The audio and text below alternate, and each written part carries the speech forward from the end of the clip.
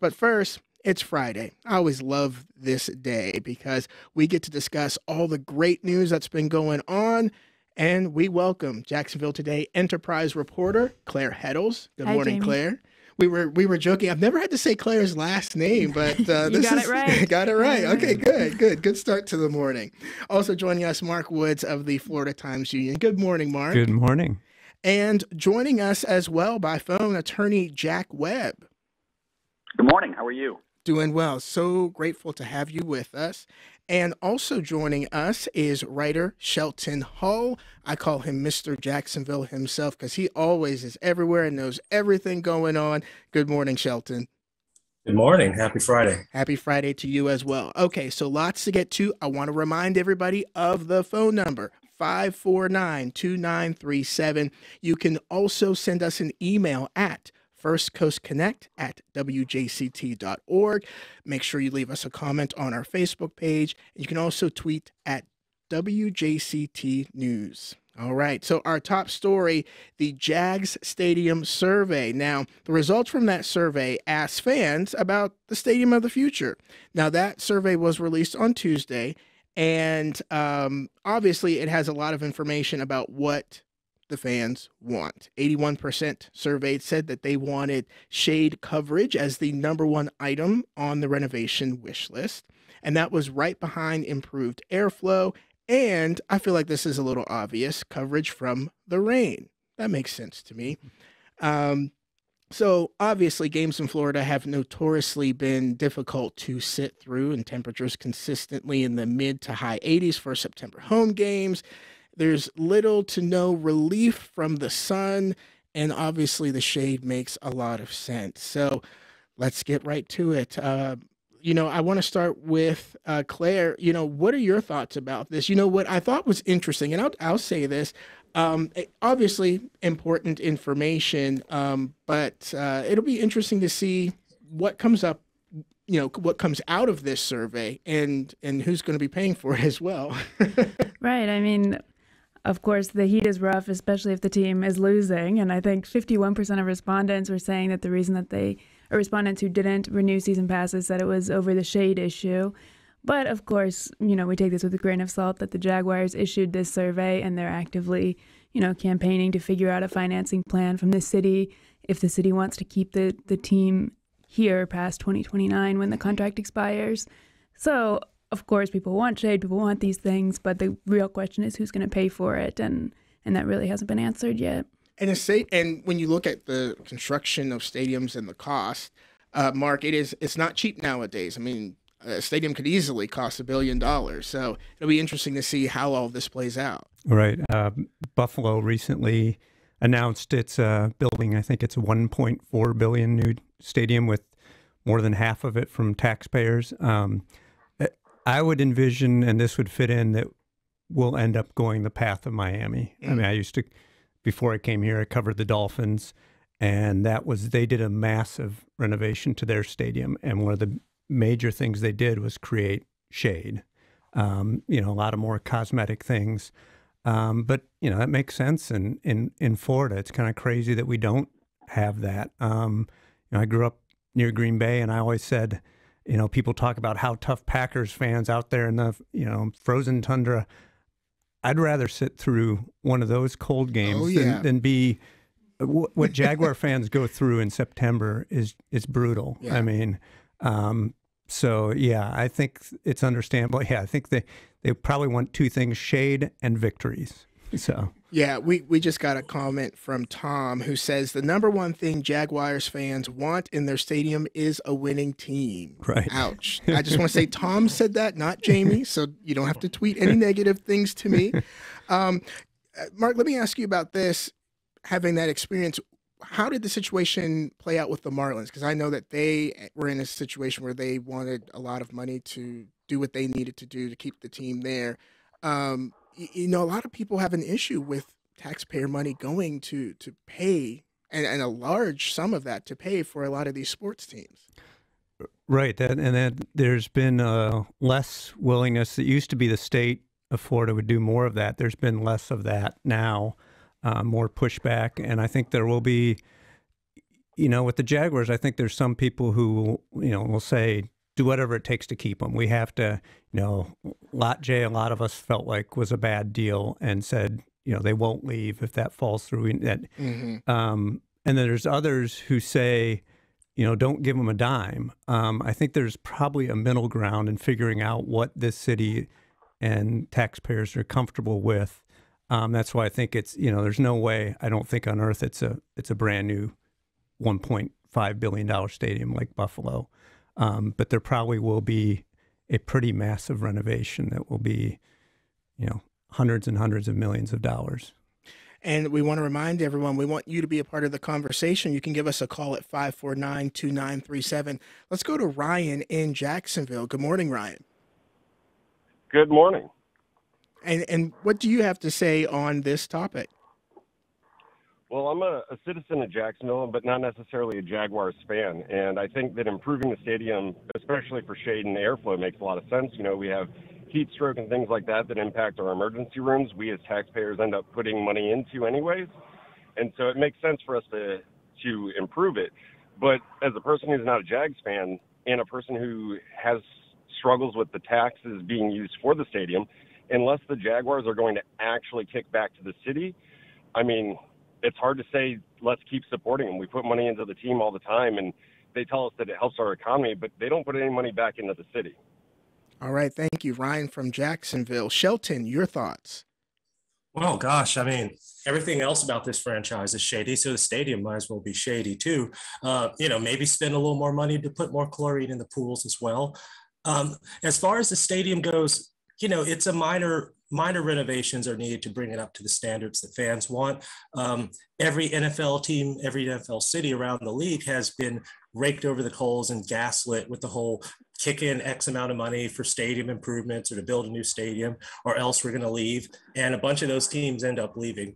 Anyway, I think as it stands right now, our stadium is known to have one of the best uh, in aesthetic aesthetic terms, uh, one of the best experiences of any stadium uh, in the country, if not the world. Um, as things stand right now, the main thing the Jaguars should be thinking of is winning. Right now, it's a time of uh, chaos and instability in the AFC South, even more so than usual. Uh, two of the four teams like had four wins or less last year, including our team. If the Jaguars really want to get stuff done, if they really want uh, the city and the taxpayers should get behind them on stadium improvements, Lot J, and whatever else, right now this season is a good time to make a playoff run.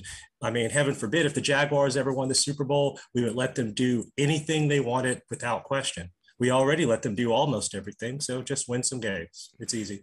And again, we want to invite our listeners to join the conversation 549 2937. That's 549 2937. Let's go to Mark on the west side. Good morning, Mark. Good morning. Uh, I think that I saw that survey. A friend of mine's a season ticket holder, and he showed me the survey because he knows I'm interested. But that survey seems like to me it should have also come with the uh, caveat uh, from the desk of uh, Shad Khan. Um, I don't think we should. We over the years, 20, 25 years, however long we've had this stadium, we pumped hundreds of probably half a billion dollars into this thing. You know, new TV screens, new seats, a swimming pool, all that stuff.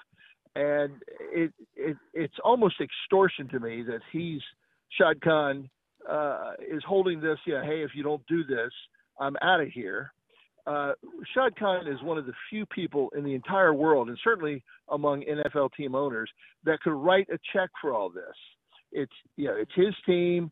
They're the only ones that play there. They're probably the only ones that use that stadium on a regular basis. He could write a check for this, and we would, you know, if, if it's such a great idea, Shad, uh, it was such a good idea. You pay for it. You know, you you keep saying you're bringing business and you're good for business. Well, of course you are. We're we're funding you know all your infrastructure. So if and and if he leaves, he was never a part of the city anyway. So let him leave. I, again, you can't prove that they are uh, bringing one dollar into the city, and now they want to take a billion dollars out of there. Leave, Shad. Just yeah, this this is ridiculous. We've got trouble. We had to pass a special bond issue for schools and then for teacher raises and we're going to a billion dollars of taxpayer money. He's just shameless, I think. All right, Mark on the west side. Thank you for sharing that. Jack, your thoughts? Hey, you know, after that call, I appreciate his position on it, but it's one of I thank God every day I'm no, I'm no longer on the Jacksonville City Council to have to deal with these type of issues. Um, the reality is that uh, I, I think Shelton nailed it. You know, if the Jaguars start winning, um, then uh, I think the taxpayers will be more than uh, be more inclined to get off their wallet on this thing. Uh, as far as the financing goes, it's going to have to be a split deal somehow. Iguana mm-hmm. Development is the is the force behind this first downtown organization that did the survey. Iguana Investments is the master developer for the riverfront. So I don't think Khan is. I think this is the stadium re- renovation issue is just part and parcel of the entire project. So I don't think Mr. Khan. I don't think Khan is holding a gun to anybody's head. I mean, I think it's just part of the the reality that we face. If we want, you know, if we want to swim, if we want to play with the big dogs, then this is what's gonna, this is what it's gonna be. I mean, whether it's Buffalo, I just got back from Las Vegas on, on I had a client out there, and uh, and what they did, what the NFL did uh, for for the Raiders out there is unbelievable. I'm not mm-hmm. saying that we have to match that here, but. uh um, I, I, I applaud the Jaguars in a sense for getting out in front of this thing to address the issues now so that, again, we're not forced to sip water from a fire hose uh, when this lease is coming up uh, for renewal or expiration. Let's go to Denise in Nassau County. Good morning, Denise. Yeah, I was wanted to make a comment about the great stadium experience. Mm-hmm. It may be if you have club or box or fancy seats, it's a great stadium experience. But those of us who are occasional uh, attendees or have uh, the cheap seats, it is a horrible experience.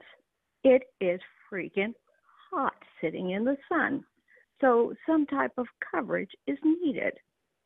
And I think a split deal is a great idea. But it is not a great stadium experience for most of us, especially those who were there win or lose. Thank you. Absolutely. Thank you so much, Denise, for being a part of the conversation. And, and, that's the thing. It seems like the diehard fans, it doesn't matter what's going on weather wise or what the experiences they want to be there. But I think a lot of points that we're hearing make a lot of sense. I mean, I think when we talk about the quality of how the team has played for several seasons now, if they were able to turn that around, they I think it would be a much easier sell to to residents and to taxpayers. Charles says Jags losing is common to anyone who has been here and in capital letters a while. Martin says the stadium needs to be enclosed so that it can be air conditioned. That needs to be the owner's expense, not the city if Shad threatens to move the team, then so be it. Shelton, your thoughts? Well, I think the the, the idea of the, of the Jaguars moving, I don't think it's. I think that's sort of much ado about nothing. I'd be surprised if the team ever left here. I would, frankly, I'd be surprised if any other city would uh, roll out the red carpet for Shad Khan the way we have, especially the way things have played out here. Um, I it's been stated before that if you go back over the last 50 years, out of everyone that's owned any sports franchise for 10 years or more, Shad Khan has the lowest winning percentage of any sports franchise owner in any major sport in the world in the last 50 years. And uh, and again, he could write a check for all this. Um, putting putting out shade for the cheap seat experience as a as the lady mentioned, is a really good idea. I've been to games in all different parts of the stadium. Uh, you get there, uh, you get that direct sunlight overhead. You're gonna, you're definitely gonna be feeling it. You'll be sweaty, maybe a little bit dizzy. Um, the drinks, you know, the drinks are really good, so you're gonna be even more sweaty, even more woozy. And again, I think we're all on the same page as far as just the team needs to win football games. Uh, the fact that they've done so well and uh, monetized this franchise so well uh, with the record they have is remarkable. But if you, I'll say, I always say to people, if you've got a family and you want to really have a good sporting experience, a really positive, affordable experience, try try the Jacksonville Jumbo Shrimp. If you haven't been to a Jumbo Shrimp game, they're playing uh, this season. Go there, um, guaranteed good time. And we had a great time. There was a WJCT day there, and, and uh, despite the long lines and they ran out of hot dogs, I was not happy camper about that. It was still a lot of fun. Uh, Jack Webb, I, I want to ask you about that because a lot of people are are making the point again that you know there's this there's this cost associated with it when we see all the development right here near us at WJCT across the street, all of the riverfront development that's going on. I mean, is it a real possibility that the Jags would leave if they did not get taxpayers to foot some of the bill? Well, to to yeah, it's it's a great question. The taxpayers are going to uh, put part of the bill. I mean, that's just the reality because rea- the reality is taxpayers own the stadium. Okay, uh, Khan owns the team. The city owns the stadium and the other venues down in the entertainment district.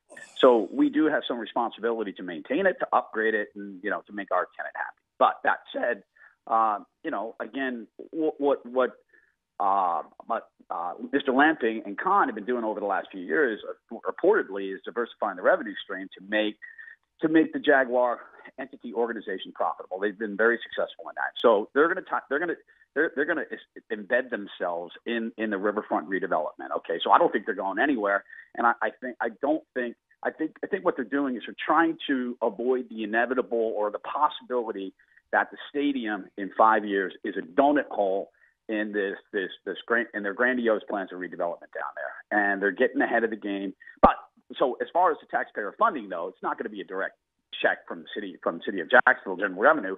Most likely, it's going to be some sort of formulaic approach. You know, taking bed tax money, uh, money that is is that can be bonded, that is dedicated for these types of purposes. Question for the finance committee and for the mayor's office is how much bed tax revenue do we have? What's out there? What are the revenue sources? Let's start figuring this thing out. And so again, so that we're not, you know, we're not uh, uh, we're not reacting and making bad decisions at the 11th hour. All right, let's go to the phones. Linda in Mandarin. Good morning, Linda, and welcome to the conversation. Good morning. Um, I understand what Mr. Webb is saying um, as a former city council person. And Mr. Khan, like any businessman, can diversify his revenue stream. We all hear about diversified portfolios, but maybe if he spent less time coming up with a lot J, coming up with a Four Seasons that the Four Seasons hasn't committed to yet on paper that I know of. We have money for the stadium. Um, you know, he's a businessman, so maybe if he took his money and did his business development for the Magical Hotel, for the whatever, then we could put those resources toward a stadium. But, you know, every year, let's say what it is, corporate welfare comes out when we have to every year.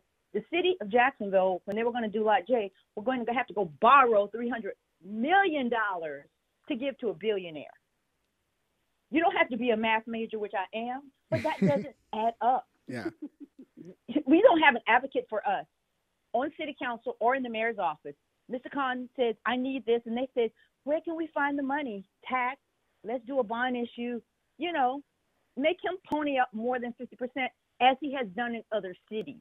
He takes advantage of us because we have weak leadership in this city. Thank you. All right. Thank you, Linda and Mandarin. And uh, quite a few people share that same frustration that Linda shared. And we're going to go to Gary now in Jacksonville. Gary, good morning and welcome to the conversation. Good morning. Um, I think that the answer is fairly simple. A, a, lot of the incentives that, that we give Khan uh, are in the form of tax revenues on land that we're not collecting tax revenue on anyway.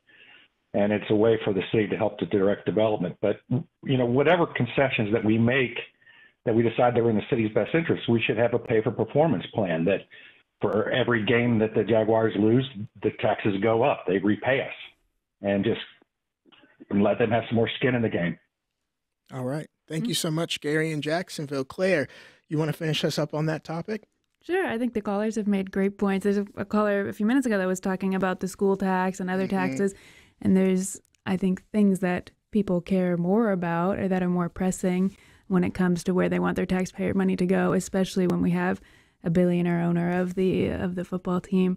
I know that the Jags president, Mark Lamping, has said that um, most teams, when they decide to move, it's about the stadium, not about wins or losses. But it probably will come down to you know having a winning team for people to want to have tax incentives go towards them and towards the stadium. Absolutely, and especially when diehard fans are willing to sit through the harsh elements exactly. in order to enjoy a game. Absolutely. Well, we're going to switch topics. We're going to talk about pedestrian deaths, and I want to hear from you. 549 2937. That's 549 2937. Jacksonville Today, Jax Today did a amazing article talking about this. And if you have not subscribed to really a great way to start your morning, check out Jax Today. You can learn more by heading to wjct.org and you can subscribe to the newsletter every morning. Jacksonville was named one of the most dangerous cities in America for pedestrians. I actually I, I cycle, even though I'm a husky guy. I, I cycle. I ride my bike. And uh, I can't tell you how many numerous times daily that I almost get hit. I almost got hit because someone wasn't paying attention to the walking sign, which was green. Um, and so it's very interesting that the Jacksonville metro area ranked sixth most deadly from 2016 to 2020 with six other Florida cities. And the death rate uh, was in the top 20. So Daytona Beach was actually the most dangerous in the U.S. for people on foot. Um, Mark, I want to start with you because you actually walked through Jacksonville a couple of years ago. Um, your thoughts on us being named one of the most dangerous cities for pedestrians? Uh, yeah, that's why I did that project. Was you know we have the largest city by landmass and one of the most. It was at that time one of the most dangerous to walk in. So I'm I'm going to walk all the way across it. Um, and so this is nothing new. Uh, we consistently rank in the top ten. We were um, at one point, we were third or 4th mm-hmm. uh, I think last year we were tenth. This year we're sixth. So it's it, it, fluctuates slightly, but we're we're again and again in the top ten. And the, I think the the name of the study is called you know it's dangerous by design. Mm-hmm. So the point being, this isn't an accident that that the, the cities that rank this way rank this way consistently. And you you visit places that do not rank this way, and you look at the way they're laid out and what they have, the infrastructure, it's it's not an accident that they have much fewer deaths. Um, you know, we're making we're making progress. We have things, you know, that uh, give us reasons to be talk about walking the Emerald Trail, the mm-hmm. the path that's going across the Fuller Warren. There's there the last mayoral uh, budget presentation included some pretty dramatic things. Um, so there is reason for hope, but we we have a long, long way to go. And um, so there, that's that's kind of my thoughts on it. 549 2937. That's 549 2937. And, and to be fair, the city did add safer pedestrian crossings in 2020. They allocated $300,000 more for crosswalk improvements last year. Um, what's interesting is that more than 50 pedestrians died in accidents both years. And I think it is worth mentioning how people drive. I mean, let's be honest. Some there's a lot of recklessness on the roads. I mean, it's it's scary. And so, like I, I shared my experience, and that was just you know this week. Um, Claire, what are your thoughts? I did some reporting on pedestrian deaths last year too, when there was also you know a high number of deaths, and you know I saw that in 2018, pedestrian deaths in Jacksonville had actually fallen. That was the year after the city had issued its pedestrian and bicycle master plan and had addressed some of the most dangerous crosswalks that they had marked in the city. So I think when there is the political will, as, as Mark was saying, there there are some opportunities to improve this, but some of the pedestrian advocates that I also talked to when I when I reported on this previously were saying that there's really not a lot of pedestrians representing people on city council, mm-hmm. not a lot of people walking that are voting for our city council. And so really the the interests of people that are riding buses and walking between buses and on on these dangerous crosswalks aren't represented that heavily on in our political leadership in the city.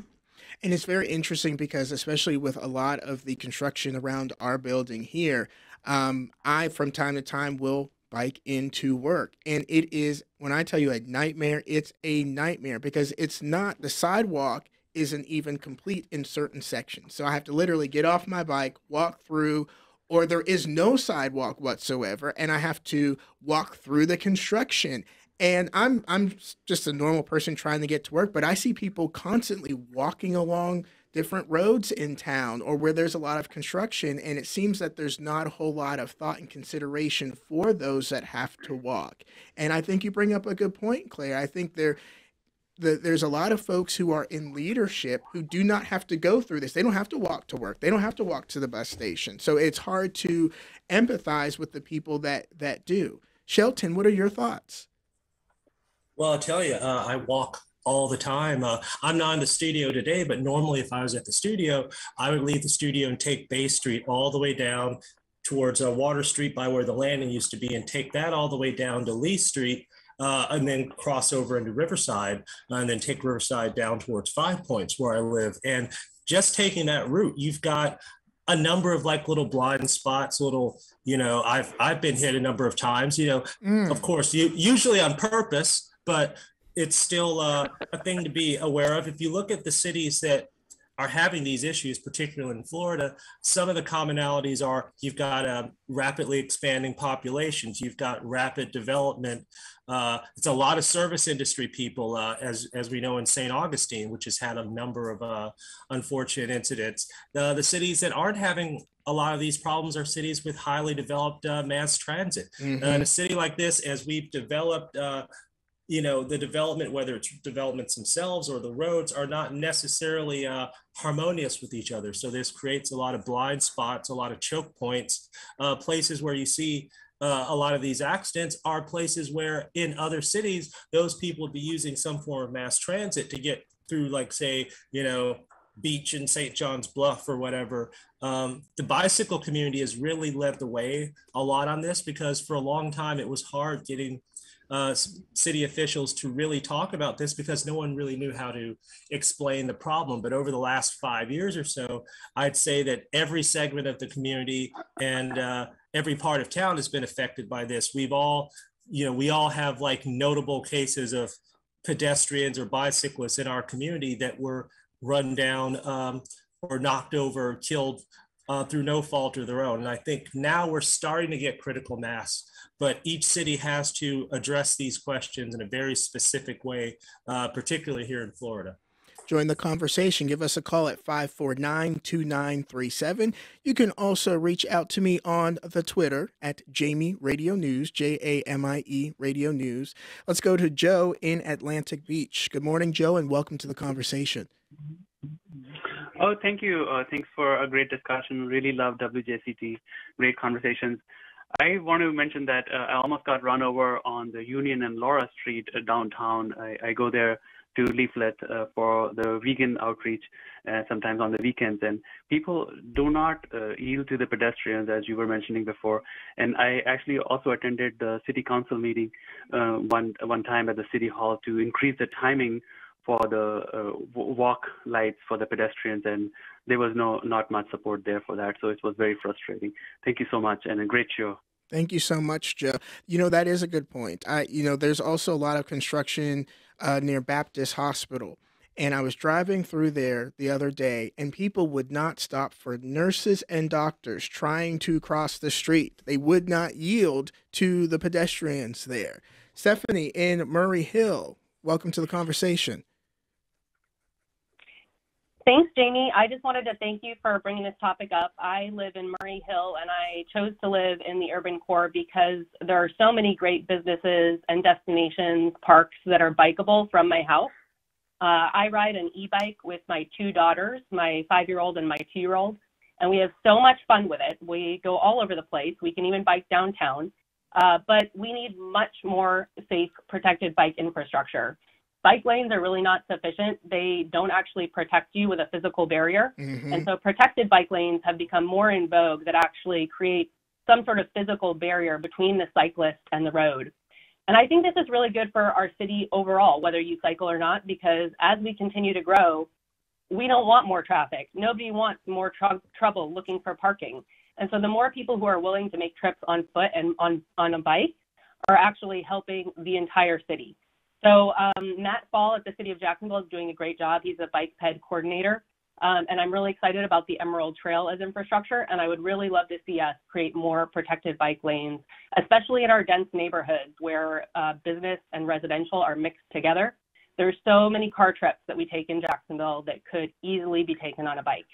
Thanks. Right. So- Thank you so much, Stephanie. Jack Webb, your thoughts? Yeah, uh, Jamie, you're preaching to the choir when you bring this topic up with me because I ride my bicycle every morning as well.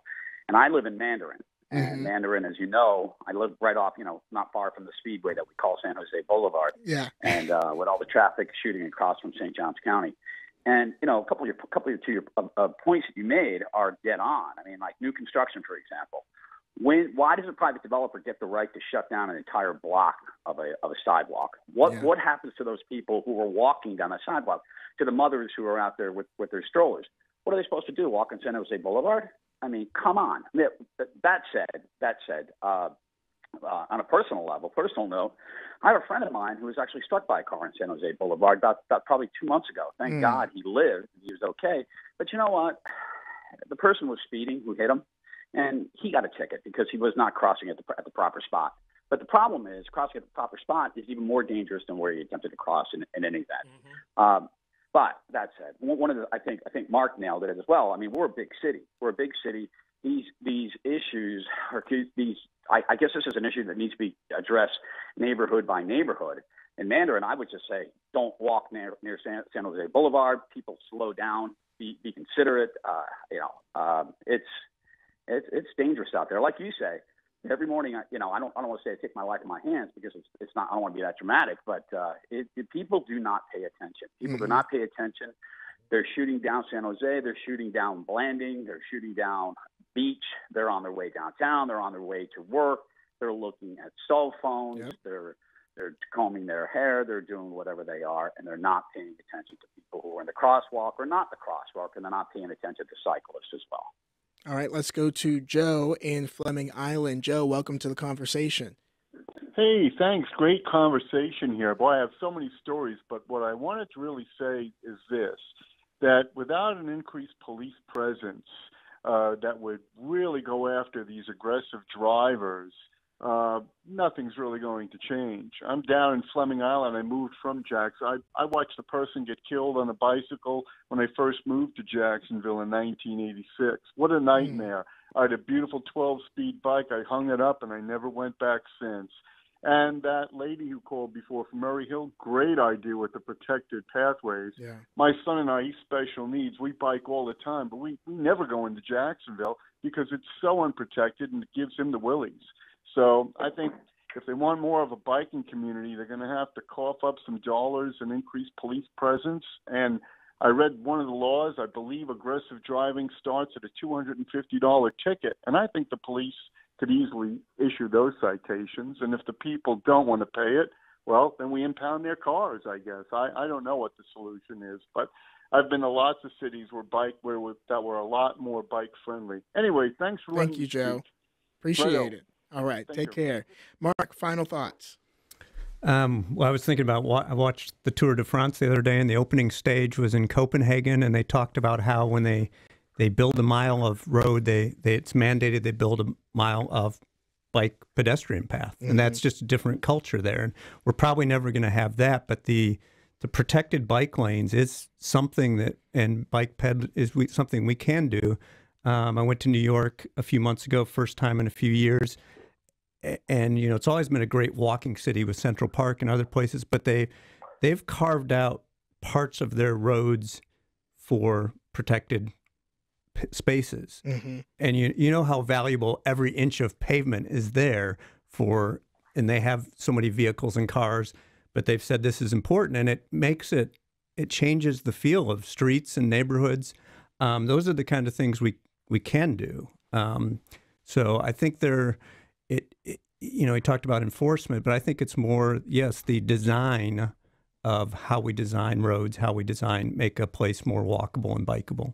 And the city of Jacksonville just recently posted on the online uh, their plan for on-street bikeways and shared use path and trails and, and a network. And altogether, right now, the city's bikeways and trails consist of 887 miles of existing funded and planned bike lanes and bike buffers and and so this the city's trying to be aware of it but I, I think also there's a responsibility on all of us as drivers right to make sure that we're being mindful when we're driving that we're paying attention we're not on our phones we're not doing all the things that you mentioned mark.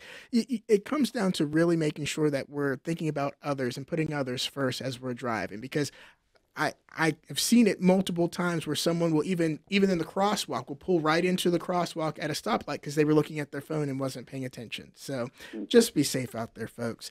All right, we're going to talk schools now. Give us a call 549-2937 school grades. Um, I had actually did a story earlier this week uh, outlining how Duval County's grades uh, came in, and I know that it was much relief for Dr. Greene um, because there were several schools that were really teetering um, that have been turned around, and a lot of others that uh, completely turned around, um, but still a lot more improvement needed.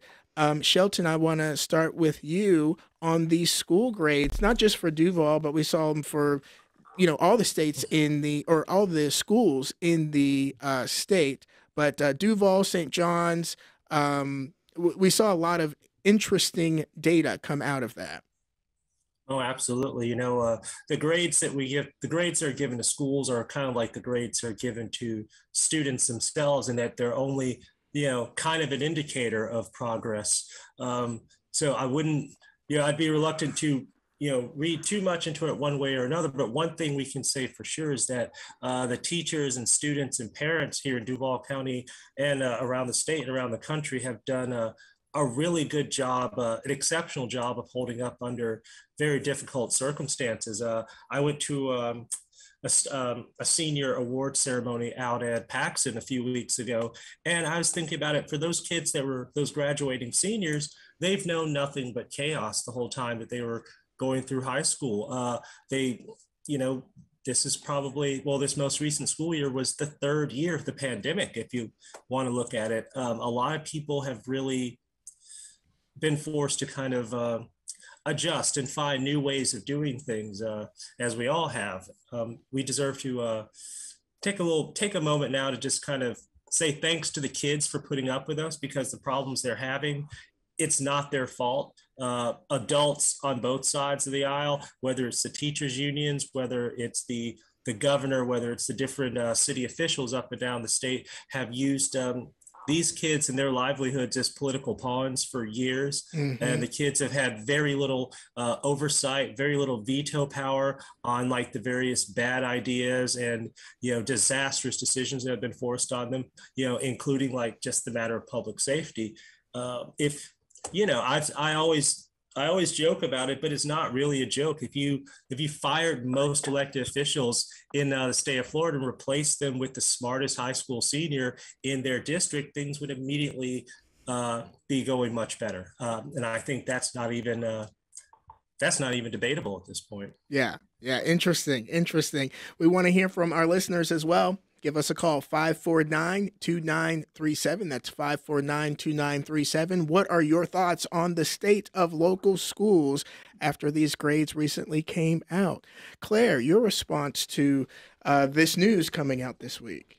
Well, I think one of the most interesting data in the in the school grades this week was really seeing that by and large charters didn't weather COVID as well as traditional schools did in Duval County. We saw Mark Woods had a great column about this in the Times Union this week that, you know, charters make up only about 20% of of schools, but we're almost half of the of the DNF schools.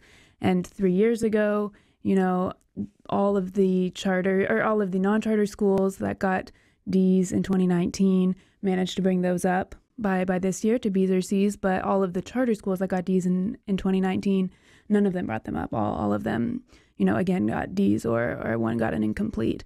And what Diana Greene was saying to the school board this week during the school board meeting on Monday is that the consequences for charter schools that have D's two years in a row really aren't clear like they are for traditional schools. Traditional schools go into an official state turnaround program, whereas if a charter school is derated for multiple years, it it can just remain that way, and there's no formal process to to turning that around. And Mark, I want to go to you next because, uh, you know, when we think of the thought behind charter schools, it's that you have a better experience than traditional schools or a more involved experience than traditional schools um, particularly when you look at the black community. There's a lot of thinking that, well, if my kid can get to a charter school, maybe they'll have a better experience than they would have in the traditional classroom setting. Um, and we've seen a huge increase in the number of charter schools in uh, Duval County, especially. Um, how does you know, and, and and Claire just mentioned a lot of this. How does all of that come into play when it comes to the sustainability, the success, and whether or not these charter schools are, are going to be able to continue on this path, especially when the kids in the end suffer because they're not getting what they need. Right. Yeah. When I wrote this, um, you know, first of all, when I wrote the column, I kind of wanted to echo what Shelton said, kind of applaud everybody for making it through the last few years. And mm-hmm. no, no, matter what school you're teaching in, if you're homeschooling, if you're, I mean, yeah, to the kids, the teachers, anybody who's still teaching, I give them credit. Um, but yeah, there's been this long kind of ongoing narrative to vilify public schools and that, you know, the, look at these grades. We need to, um, three years ago, they were the state was literally talking about taking over some Duval County schools mm-hmm. and handing them to charter operators. That that was the solution. So this wasn't necessarily to vilify charters. I feel like there's a place for them. There are good charters, but that idea that this is the answer. I mean, if you look at the grades now, that uh, again to echo that stat, um, they make up about 20% of the schools, and that's growing substantially. It's continuing to grow but they were nearly half of the failing schools.